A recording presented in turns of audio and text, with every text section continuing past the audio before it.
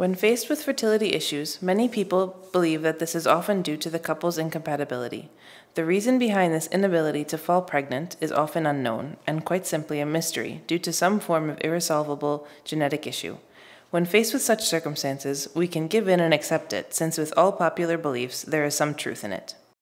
It's estimated that around 20% of reproduction issues are down to genetics. In fact, Many of the tests carried out as part of patient fertility analysis in our clinic aim to determine if there is a genetic issue behind the couple's difficulties falling pregnant. But actual genetic compatibility tests did not exist until very recently. Progress in DNA sequencing, next generation sequencing technology, means that nowadays we are able to offer patients new options in terms of diagnosis. Nowadays, there are new genetic tests available that mean we are able to determine if either of the partners are carriers of a hereditary disease that could be passed on to children.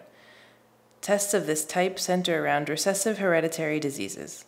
In other words, diseases that present symptoms when the two genes inherited from our parents are both mutated. People who only have one mutated gene are carriers. That is, they can pass the disease on, but they don't have the disease themselves. Everyone is a carrier of one disease or another.